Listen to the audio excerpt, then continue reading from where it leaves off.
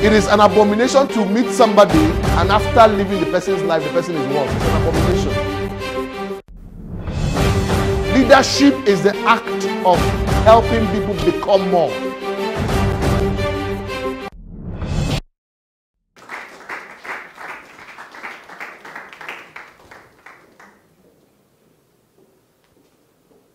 Is there anybody who would like to be a leader here? Can I see your hand? Everybody wants to be a leader. Everybody wants to be somebody. But the truth of the matter is that it's not everybody who wants to be a leader that ends up becoming what? A leader. Look at your neighbor and say, Do you know who I am? If you know who I am today, you're going to buy me lunch tomorrow. i like to simply ask a question. Is there anybody who has been thinking about leading strategically in this country? Today, I'll be talking about a very important topic, a topic that is critical for the advancement of leadership capital around the world. I'll be talking about a critical topic that I've titled Functions of Strategic Leadership. Or you can call it Seven Function of Strategic Leadership functions of strategic what? Leadership. Who is a strategic leader? The term strategic is a word that came out from the word strategy, strategia. It is a Greek word that meant something like the commander in chief, right? It is a word that was taken from military escapades. Those days where you talk about the Athens and the Spartans, right? The word was so significant that anybody who is considered strategic must be somebody who has risen to a place in the army hierarchy that the individual can effectively take strategic decisions in order to achieve victory for the army. Victory for what? For the army.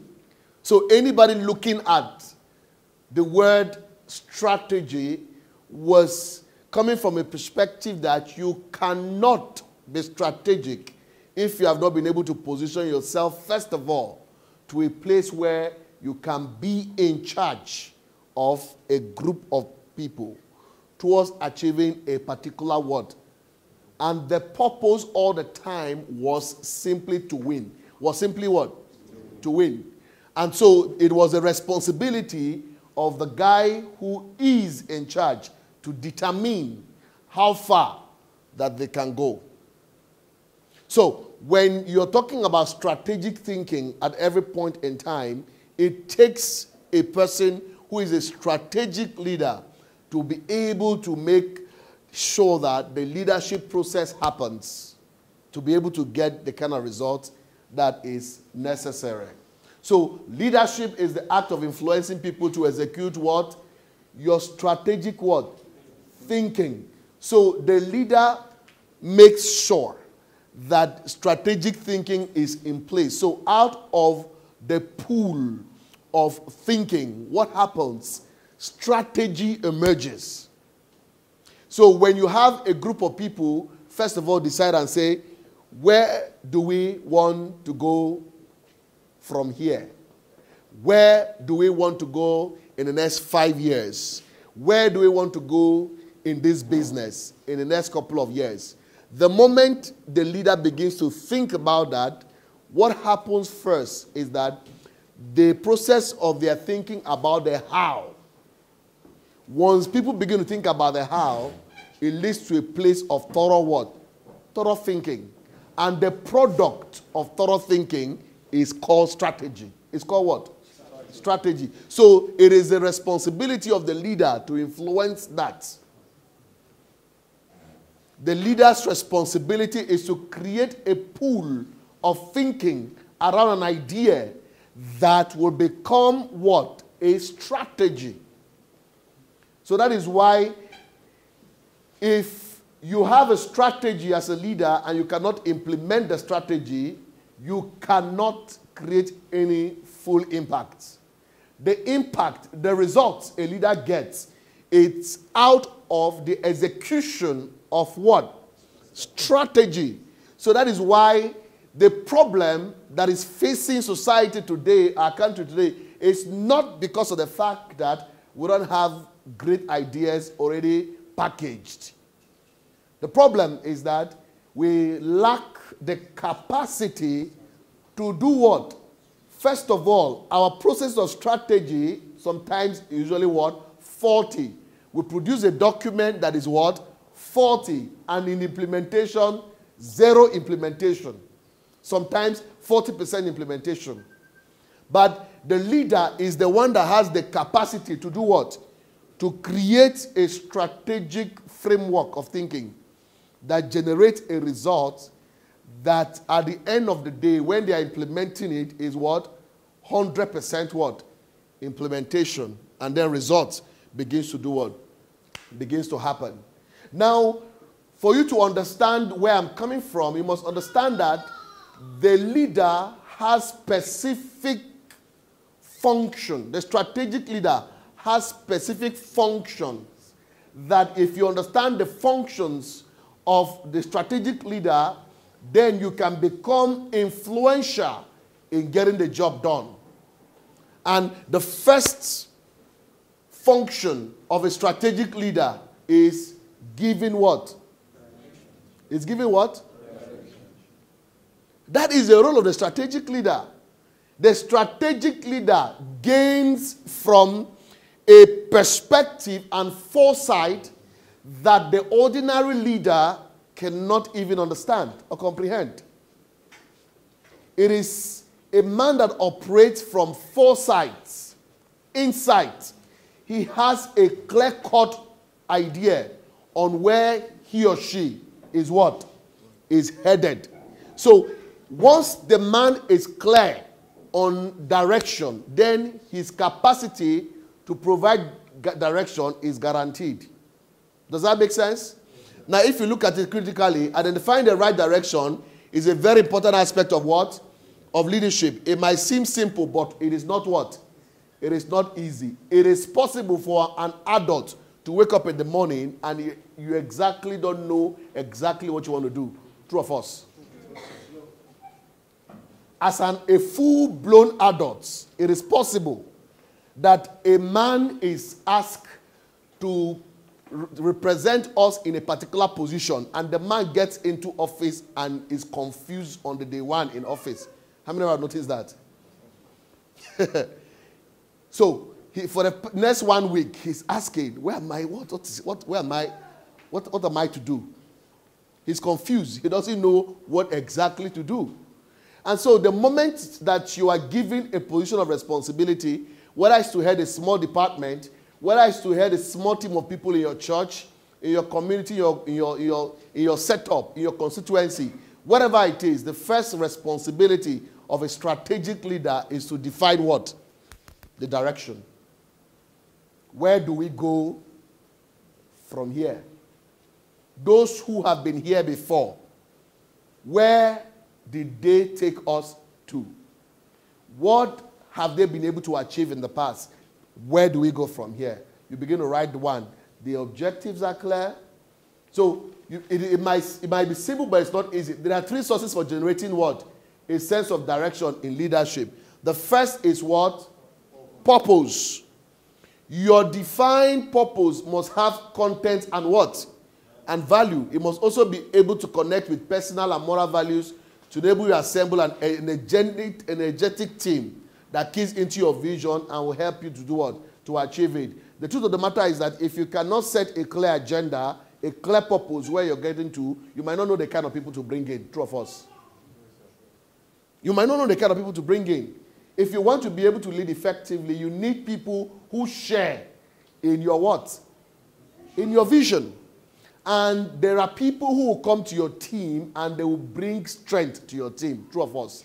And there are people that will come to your team and they will scatter your team. The. They can do what? Quench the fire. Uh-huh. If they quench the fire, whose responsibility was it? you blame yourself.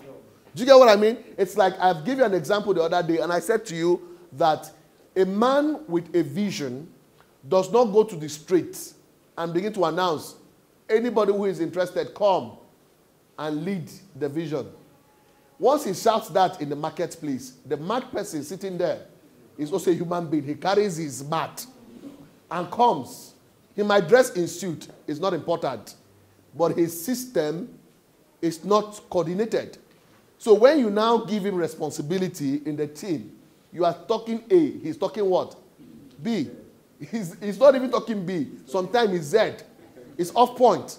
Have you ever seen people like that? Have you had a conversation with someone, you're talking A, the person is totally out of point? The person loses. I mean, you're wondering, is this person in the same thinking frequency like you? What's going on? You look at the frequency around you, you can't find the individual. That's the point we're trying to make. So, the next thing is values are clarified as well because until you share the same set of values with certain people, you can't function well in a team. True of us. If the person believes that for us to rise, we must keep people, eh? maybe it's a political team. We say, How do we win election? Now it's election time. Somebody believes that, No, I don't want to kill anybody. It's not, by, it's not a do or die affair. And somebody else believes that, ah, we need three, four heads every week. It shows you clearly that you're in the wrong place. True of us. The leader picks his bag and runs because it does not connect. There will be clashes. It, there, there must be everyday fights. You must have clear cut what? Values. Values that at least a little bit closer to what? To each other. And the next thing is vision. A mental picture of how your vision to be coordinated in the future. It helps you to identify the difference between progress and what? Regression. Where there is vision, it helps to draw followers into the what? Into the right direction. So you are a great visionary because you're a strategic leader, but the people you're also bringing to your team are people who are also what? Visionary, those who can see vision. Because if people can see your vision, how far can you go? Let's say you want to become an actor. That's your dream. The strategic leader who wants to be an actor, you know what that person does? That person begins to look at every other person around him in the context of the vision that he wants to accomplish. Is that not true? Yes, so when you meet with somebody who is a producer, what does he do to your spirit? You meet with somebody who is a director, what does he do to your spirit? You meet with another fellow actor, people who are dreaming like you are dreaming. You can connect more, isn't it? You will be pulled towards those kinds of people rather than somebody else who probably wants to become something else. You can't connect much. That is the concept that you need to understand that in strategic thinking is so important. That the second thing about strategic leader is that the strategic leader provide the strategic thinking and what? The strategic what? Planning. The man who is a strategic leader understands that great thinking precedes great actions. He knows that everything I want to accomplish, I must think through. He's a thinker. He's a man that thinks in the context of how do I get to win this war. Do you get what I mean? He doesn't go into the fight first before he starts to think. Do you know that people start fighting before they start thinking? How many of you understand what I'm talking about? Somebody provokes you. It is an error. Somebody provokes you. Say, shut up. Pop. Now, you have not thought whether this man is a giant or not a giant. Don't you understand what I mean? You were, you were allowing reflex action. That's emotion to determine your thinking. Somebody who, if you have thought thoroughly, you look at his height first. His height, the guy is so heavy. His one hand like this is as large as something else. And you know this guy even has gun. You understand what I mean? A strategic thinker knows that, ah, strategic thinking says, ah, you better clear now. You don't have to stay close to this guy. One more. You, first, strategic thinking says, I'm sorry, sir. I'm sorry, sir. It is to provide an opportunity for you to run first. Because he might change his mind any moment. He's the one that looked for your trouble, isn't it? Now, look, it is possible the person who doesn't understand strategic thinking is a person who, when your enemy is criticizing you, you are worried. Your enemy is criticizing you, you are worried. Why should you be worried when your enemy is criticizing you? That is his job. Don't you understand? You shouldn't have sleepless night. In fact, I am, I am, when they begin to applaud, when your enemy begins to applaud you, shouldn't you shouldn't you be shouldn't you be you should be you should be scared. You should you should you should be on your toes. Absolutely. Your thinking cap should just open up when your enemy suddenly comes the next morning and start applauding you. You should be scared. People don't understand these things. So they waste time out of their busy time and they are pursuing enemies that are, have already defined themselves as enemies. You want to win them over. Instead of focusing on other things, they focus on enemies. That tells you that this guy is not a strategic thinker. A strategic thinker is busy in the office, in his company, trying to create new products and new brands. He wants to. In fact, those are the people that think into the future. They close their eyes like that and they take uh, things that are distant. You know, things that are distant, their thinking capacity brings those things closer to them, isn't it? And they see those things as clearly as what? As possible. In the processes of thinking and looking at that thing, what happens? They bring out the unnecessary things out of that thing and only allows the necessary things to stay. And then your product can speak. That's what, that's what we're talking about. That is the responsibility of the strategic what? Leader. He provides the strategic opportunity for thinking to happen. It is possible to have human beings in a system and thinking is not happening. That's tragedy. That's tragedy. How can you assemble men and women in a place, in a workplace, and thinking is not happening? So it's not that the leader does not know what to do. What he does is that he creates opportunities. He asks, he would ask the right questions. He will provoke thoughts for people to do what? Discuss. In the process of discussing new ideas, we see the light of the day. But if discussions will not happen, new ideas cannot emerge. So strategic thinking is a place for birth, the birth of ideas. Go and look at all of the great thinkers around the world, from Aristotle to Socrates, to all of those people that gathered men. Those guys in those days, you know what they used to do? Those thinkers and philosophers, you know what they used to do? Ah, the guy will be walking around the street. When once he sees people gather, once he sees people gather, you know what he does? He comes there and he begins to provoke questions. He begins to ask questions. What if something drops from the sky and hits anybody's head? What will happen? It provokes a conversation.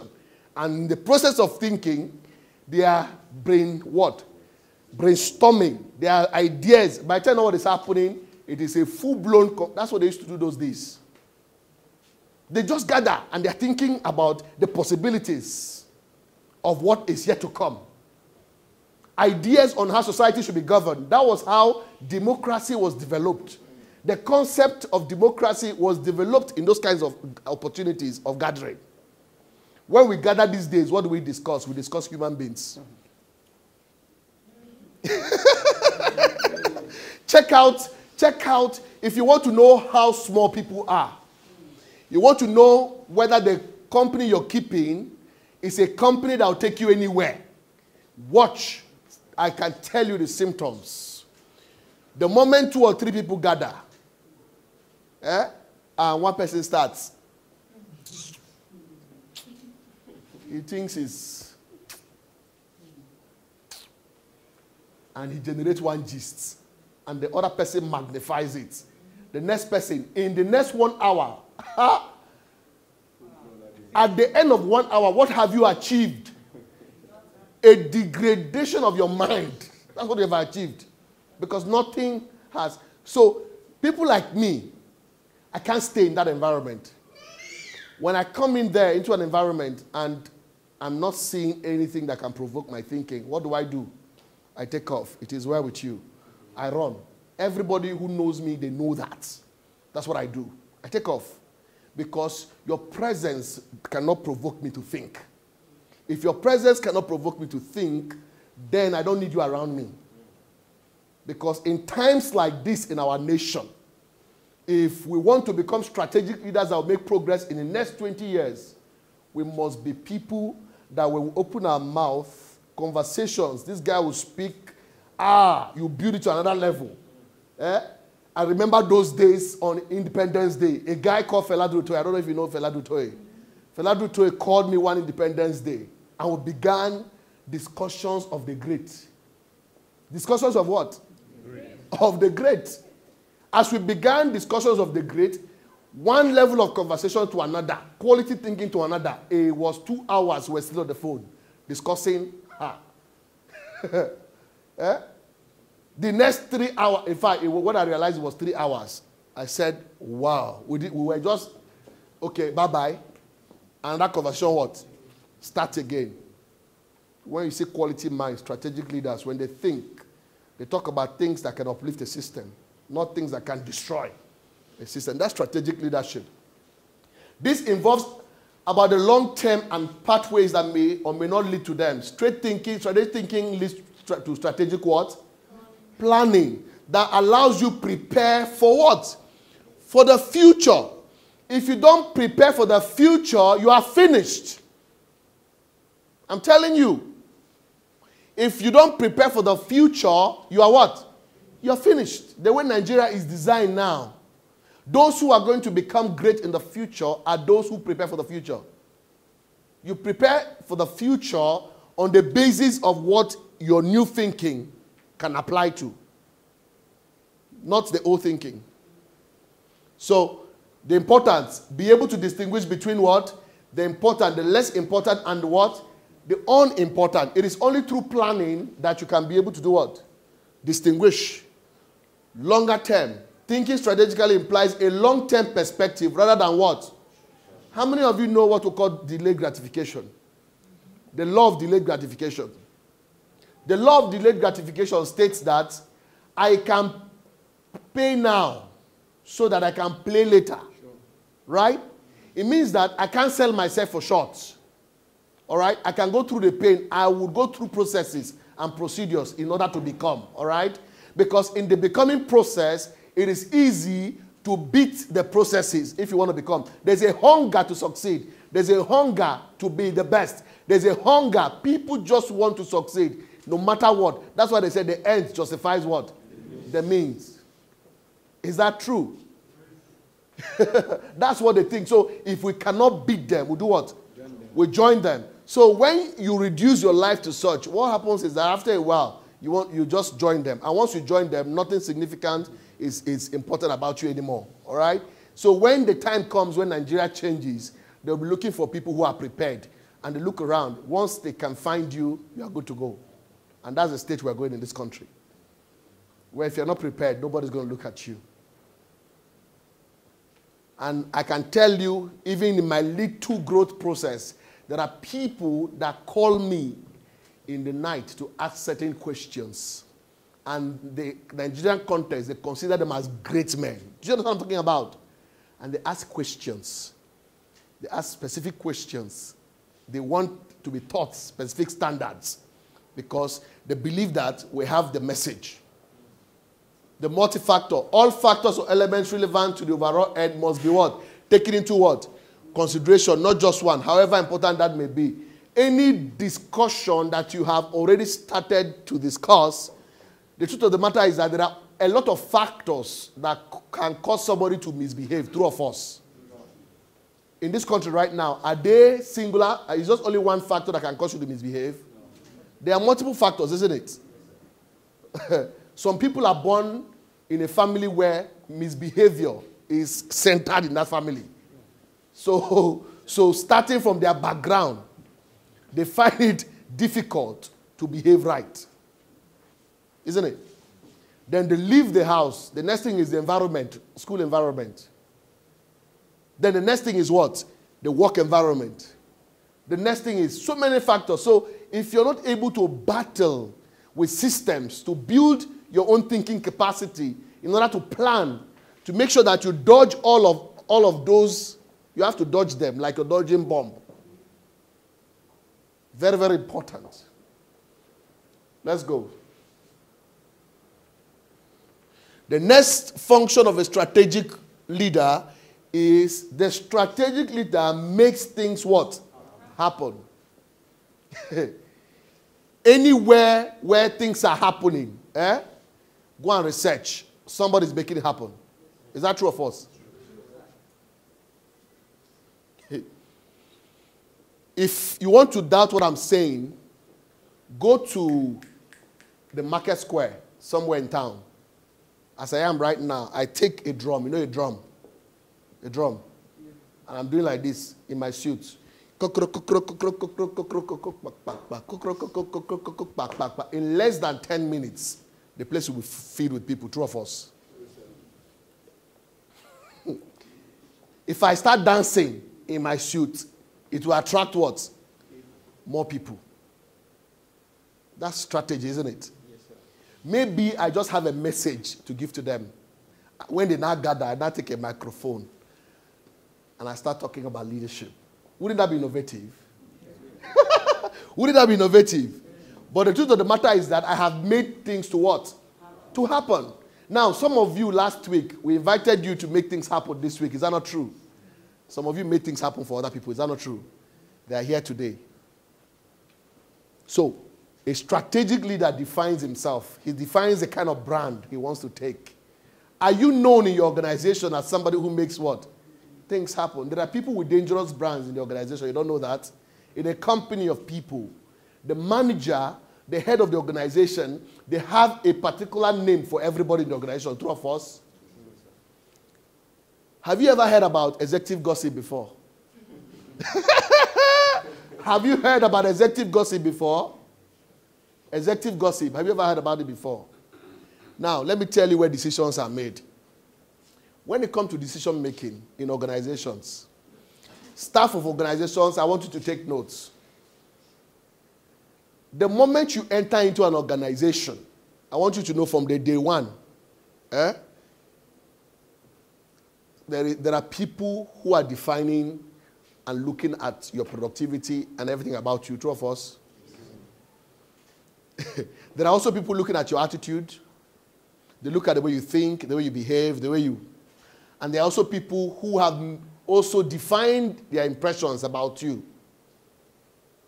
So there is time to give somebody good work to do. Four managers are discussing.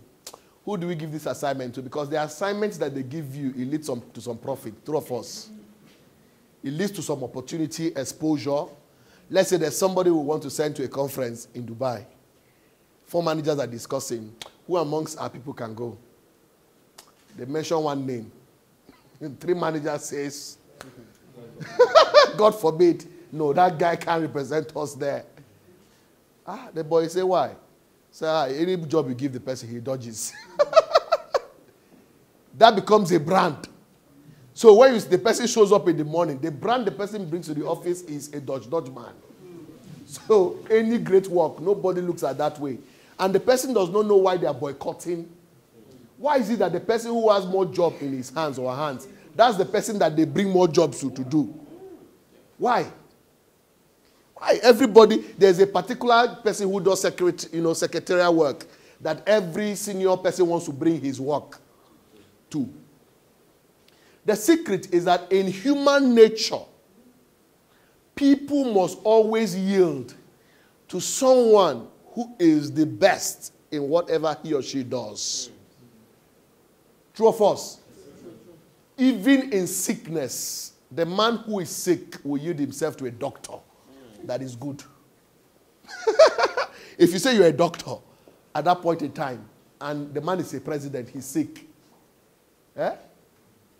on a normal note, a president says, I am there, president. Hmm, But as soon as he's sick, he shakes, isn't it? He's no longer president. He Becomes the patient. He becomes a patient. He must submit himself Doctor. to the doctor that will examine him at least and the nurse that would inject him. If you say, remove your trouser, he wouldn't say, I am the president. He will remove his trouser because he wants to get well. Is that not true? So it, that's how you attract respect by being the best. The question I want to ask in this hall today what brand are you? Huh? Are you bringing out to the public domain in your company? What brand? Great brand? How many of you are great brands? Let me see your hand. You're great brands, sincerely, you're great brands, great brands in your workplace, great brands. Who would they ask? Who are we going to ask? Right? So now my challenge to you is to go back and review, eh? review your personality as a person and see whether you can be better. You can redefine yourself because there is an opportunity for self reinvention. Do you know that? There's an opportunity for you to reinvent yourself. You can reinvent yourself actually. It's not too late. And build a better brand of yourself so that if your name is mentioned, some people have great things to talk about you. That's the way to go. So you can that will enable you make things happen faster. Let's go. The next function of lead, of strategic leadership is they know how to relate the parts to what? To the whole. A strategic leader must be able to bring harmony and create the right balance between what? Task, individuals, and what? And teams. There's what Professor John Adair, the owner of this concept, one of the greatest things that he talked about is the fact that in every organization, there is what we call the three circles. You know what I mean? The three circles. The three circles is what you have. One of the circles is the individual. Is what? The other circle is the team. And the other circle is the task. Now, the strategic leader is able to play a role of an helicopter. You know, as helicopter, must have an helicopter view of the three circles. So the lead strategic leader, if you're heading a department in your organization, so what you do is that you step backwards and you zoom in into the individual circle. In the individual circle, you want to find out what are the specific challenges that individuals in your team are facing at every point in time. What is it? Can they improve in training? Is there anything I can do as a leader to ensure that each of these persons can grow further in their capacities? Right? Is there anything that I can, I can do to ensure that their welfare is strengthening as individuals now? Remember, each individual has a family. Is that not true? Each individual comes from a system. You want to make sure that, because if the individual, for instance, is having a problem at home, the individual might not be able to function in the workplace. I hope you know that. If that individual just had a, a what you call like um, his heart or her heart has been broken by a failed relationship, the person comes to work, the person will be thinking about that failed relationship all day, two of us. Now, the capacity for the leader to be able to pick that out and seek out ways of dealing for, with that individual to the point of effectiveness is important in leadership. So, the leader, after entering the individual, goes to the team circle. What are the factors that are helping these individuals work effectively as teams? Are they promising each other and delivering according to what they said they would deliver? What can we bring to ensure that the team can function effectively? That's a strategic leader thinking. And then he zooms off again and goes into the task model. And then he'll begin to ask, What did we say we're going to achieve this month? Are the teams achieving what they are supposed to achieve this month? Is a task. For instance, you tell yourself, This month I'm going to buy a car, right?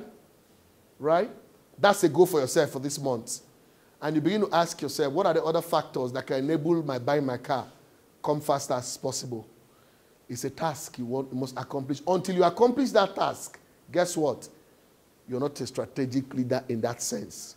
A lot of people just leave it. Anytime it comes, it comes. Nothing works like that in leadership. There is nothing that works like that. You must set goals for them to effectively work. That is managing the task. So, any leader who does this as a team leader, because all of you one day will become leaders in this country, I hope you know that. When you get into leadership positions, some of these concepts will help you as you begin to relate effectively with your team members. Very, very key. And the next thing is what? The strategic leader understand the true meaning of building what? Partnerships. You can't be a strategic leader and you want to achieve everything by yourself. Is there anybody an island? No man is an island. You need one another to achieve. To accomplish a task, you need one another. There is nobody that has accomplished a task by himself or herself. You need people, partnerships, collaborations. Do you get what I'm talking about? Yes, As an individual, you want to achieve your ability to mobilize a partnership stream, human beings, organizations, systems that can support you succeed is what you need. You understand? Even while you are in the company, you need the help of to go and ask a member of staff, your colleague in the office, please, can you show me how to do this thing? It's not, it's not inferiority. You're not inferior by asking that. You are a clever person. But some people in the office, somebody walks up to you to say, How can I do this thing? You say, He's asking, is, you're feeling big, your, your shoulders are high because somebody is asking you. You say, Okay, I just taught him something. You spread everywhere. That's so, that's so. Haven't you seen people like that before? They are so small minded. It is strength. It is strength to go to somebody and do what? And ask somebody for stuff is strength. Is humility. It is called intellectual humility. Yes. Eh? Intellectual humility, where you can uh, you be ready to share knowledge. What is happening right here is called intellectual what? Humility. You're ready to share knowledge with people who need it. Do you understand what I'm saying? You are empowering people within the system. So, because people actually need one another, you need to package yourself to be likable so that when you need people, they will come.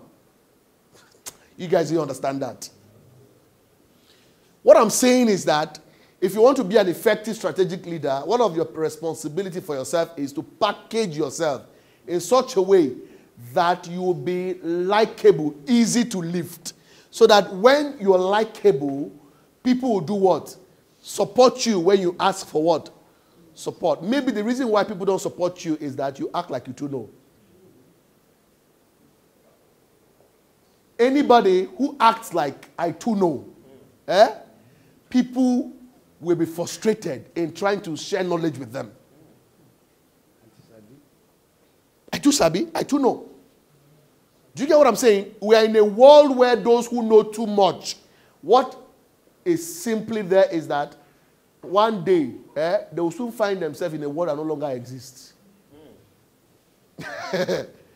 That's the truth of the matter.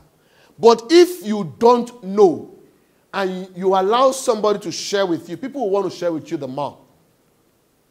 I have grown into systems where, you know, I mean, I've, I've, I've stayed with people, very powerful individuals that they will call you and ask you about A or B, and you will answer them this, this, this, this. Wow. I'm a master in taking from many people. I'm a master. Eh? I'm a master. I engage people for results. What's your view about this? I'm adding to what I already know. Wouldn't I be better? So I'm a master of building partnerships and networks. At this point in time, whenever you go to a conference, as an individual, it is your responsibility within that visit in that conference to find enough cards as possible. What did I say? It is called in search of cards, complementary cards. Because each complimentary card that you get is a possibility for a partnership. I'm telling you. I cannot tell you what I've not done. I remember those days. those days, as a UCO member, I hear there's a conference here. There's what? What, what I call it leadership conference, economic summit, call it also sort names. Once I hear there's a conference, my research gear opens up. I start researching who is organizing it. Who's organizing it? They say they are paying no. Oh. that one is their business. Because I will find myself in that conference. And when I go there, I don't go empty handed. I print cards. And then I go and buy one nice suit like that, whatever I call it, investment. It's investment for advancement. Investment for advancement. I'm telling you, there are strategic investments for advancement. And so I go into the, you see me, I wear the thing like this, I look like them. It is important to look like those you want to attract. So I move in there and I look like them. And I'm going like this. Very, very, good afternoon, sir. My name is Linus Okorie, President, Guardians of Vision International. And I'm removing my card. This is my card. And the guy is bringing his card. He's the CEO of one bank like that. Me, I'm CEO of GOTNI. We are all CEOs. Do you understand what I'm saying? So by the time I've collected all the cards like that, that's what I do all day. I forget to eat. That's why I now have a habit that when I go for events, I hardly eat. Because as they are doing the thing, me, I'm moving, I'm roving, I'm meeting people. I told you. I'm, I'm, telling you the truth. And I go back to my house that day, I celebrate cards. You know what I mean celebrating cards? I go there, I pour them on my table. And I begin to Okay, ah, see, oh, oh yeah. I, I begin to record them. Then I send text messages, you know, those days where there, were, there was no plenty GSM. Do you get what I'm saying? You try as much as you can. You go to the public, uh, what do you call it? go to the public phone booth and you're calling. You know, after I said, I just got to say hello. It was a great time meeting with you at the conference. Um, I look forward to talking to you again. You know, he said, What's your number? I said, I'll call you back, sir. Do you understand? So you, you use what you use what you have. You understand? And by telling all this happening, I have built many cards. So if you go to my study, I have bags and bags of cards. There are people that I remember, I just go back to those cards and I just call like that. Those meetings have yielded results over the years. I am telling you the truth. You can't say you want to become a strategic leader and you say you are still on my own. I still on my own. How can you, how can you do that? And you say, no, I'm, I'm a melancholy. You say I'm a melancholy. My special, I say my, my special, the way I am designed. The way I am designed, you know, I am shy to go and say hello to somebody. What, that's how people think. So you think, is there anybody like that shoe here? Is anybody like that here? Let me see your hand. Anybody like that? of course. Are there people like that here? You say, you say, I am shy. Say, I am shy. Okay. If you're shy, now be shy. Be shy. Because as you, if you don't know, monies are just all over you in form of human beings. There are plenty all over you like this. As I, and in this hall right now, there are a lot of money seated. There are human. In fact, some of them don't even look like it. They are seated like that. So for some of you, you'll be strategic in selecting those who you network with. If you look at his face, it doesn't look like it. You jump. you, you jump to the next person. Lesson has taught me. Lesson, I have learned my lessons in this life that most of the time is not even in looks. Because the person that you see his face is falling like this today, by tomorrow you see the person says, I saw many of them those days. And you know, sometimes you quickly move. but recently, I've seen some of those guys, big boys. So you, you, don't know who is seated in this hall. That's why I normally ask you, you I, I, tell your neighbor, do you know who I am? If you know who I am, you're going to buy me lunch. Because my style is that I don't look down on anybody. That's my style. So make that your principle. You'll be shocked at how many people that you can invest in. Because the truth of the matter is that we are in this class right now. Eh? Because you are seated in this class right now, you know what it is? You are costs. You know what it's called a cost? You know a cost, cost, costs. A lot of people will see you as costs. If it will be you like you're like cost to me right now because I'm paying too much to have you here. Is that not true? But the moment I will see it as an investment eh, is when you start applying the principles I have taught you. Is that not true? When you start applying these principles, it becomes what? Investment. But guess what? When it becomes a success, is when the application of these principles that I've taught you begins to yield results. That's when it becomes a success. That's when you now know that what I'm talking about matters. So when you go for training, you look at it from, ah, this thing is costing me too much time and what? Resources. You don't view it from the success point of view that you are building yourself for the future. You don't view it like that until you begin to view it as an investment. Beyond an investment, you begin to view it as something that will, as you apply it, this, the principle is in the application. That's where success can be guaranteed. Partnerships is very key. The next thing is what? Releasing the corporate what? The corporate spirit. A feeling of devotion and pride in the group that one belongs what? To. There's a pride of place in vision process. You know what that means? So I can I can shout now and say, wait a minute. Are there people who are in this hall now who are proud that they are members of GOTNI? Let me see your hand. Hold your hand very high. Very high. Good. That is the corporate. You're proud that you're members of, you're a member of what? Of GOTNI. Good.